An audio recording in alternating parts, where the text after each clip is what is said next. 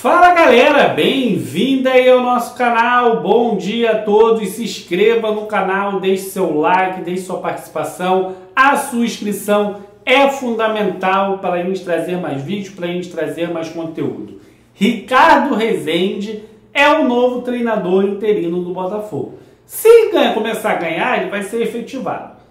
Dois próximos jogos do Botafogo vencer, ele vai lá efetivo e vai ser o novo comandante aí do Botafogo de maneira oficial, né? Mas vamos torcer para ele vencer porque é um cara que mudou o sub-20 e conseguiu bons resultados num, numa estrutura bem limitada, essa do sub-20 ele conseguiu grandes resultados. Não ganhou? Não, mas chegou em finais, foi competitivo.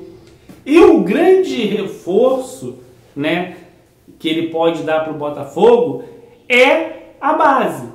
Ele pode aproveitar o Enio. O Enio que vinha se destacando, vinha jogando bem, vinha, é, vinha sendo um bom jogador. Nenhum dos técnicos que passaram no Botafogo vinha dando tanta oportunidade ao Enio. Teve seus erros jogando pelado? Teve. Teve suas situações ruins? Teve. Mas com essa ausência do Ronald, ele pode ser um dos principais jogadores do Botafogo. Não só ele, outros jogadores que o Ricardo Rezende olhou na base, tem confiança, pode ser aproveitado no profissional. Diego, estão verdes? Quem vai dizer isso é o próprio Ricardo Rezende.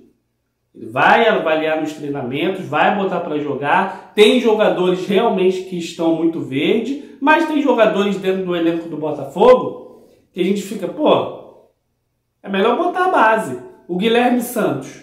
Guilherme Santos hoje é um jogador que não é útil. Não é útil. Rafael Carioca não é útil. Tem jogadores hoje dentro do elenco do Botafogo que não merecem estar vestindo essa camisa.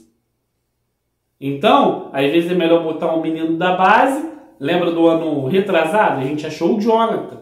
Foi para Almeria, Hoje foi até oferecido para o Botafogo, o Botafogo não quis devido ao Marcelo Chamus estar satisfeito com a lateral esquerda. Então esse, essas boas notícias é, relacionadas à base pode ser através do Ricardo Rezende.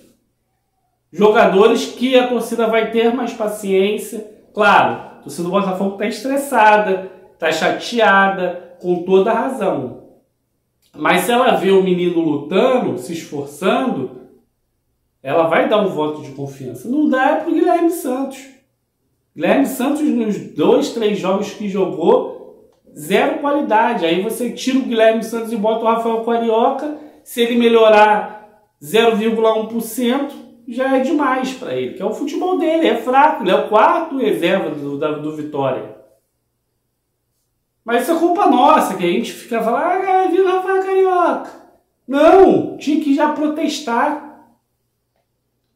o Rafael Carioca era uma tragédia anunciada. Vender o PV era uma tragédia anunciada. Quem sofre é o Botafogo. Porque os dirigentes estão lá, estão nem aí para o Botafogo. Então é isso. Primeiro vídeo do dia de hoje. Qualquer novidade a gente volta, independente da hora, porque é prioridade aqui do canal. Se inscreva, galera. Se inscreva, que só a sua inscrição pode mudar. É, a gente faz, pode fazer a gente ter voz e representar vocês. Um beijo grande, qualquer novidade a gente volta, independente da hora. Valeu, abraço, fui galera, tamo junto, abraço.